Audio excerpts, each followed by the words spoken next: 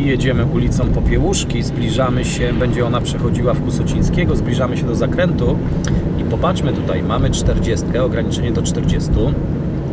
Mamy zwróconą uwagę na rowerzystów, ostrzegawczy o rowerzystach.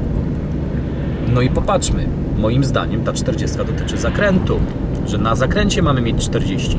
I pytanie teraz, czy co? Czy ta strefa z prawej odwołuje nam to ograniczenie?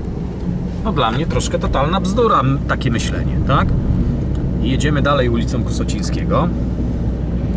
I tu za zakrętem kiedyś, tak jak tam już gdzieś w opisach się pojawiło, było odwołanie tej 40. Ale popatrzcie teraz.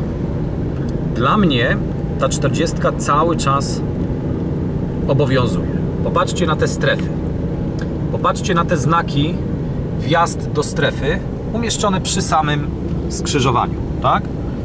Popatrzcie dalej. Dlaczego uzasadnione jest trzymanie tych 40 km na godzinę? Parkingi. Ludzie parkują, wyjeżdżają. Następna sprawa. Przed remontem tu nie było ścieżki dla rowerów. Kolejny element, na który należy zwrócić uwagę. Popatrzcie teraz na te zaparkowane pojazdy i wyjazdy z tych stref. Jak one ograniczają te zaparkowane pojazdy widoczność na wyjeżdżających ze strefy.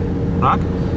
Dla mnie ograniczenie prędkości jadąc w tym kierunku dopiero jest odwoływane przez skrzyżowanie o ruchu okrężnym to nowe Pineskowe Rondo. Popatrzcie znowu, znowu wjazd do strefy i zasłonięty przez zaparkowane auta.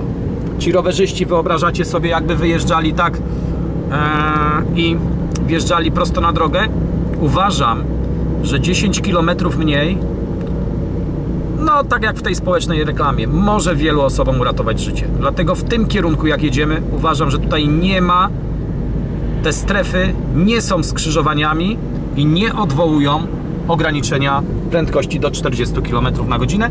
W przeciwnym kierunku jest inaczej. Popatrzcie, ograniczenie prędkości dopiero odwołane przez to skrzyżowanie o ruchu okrężnym.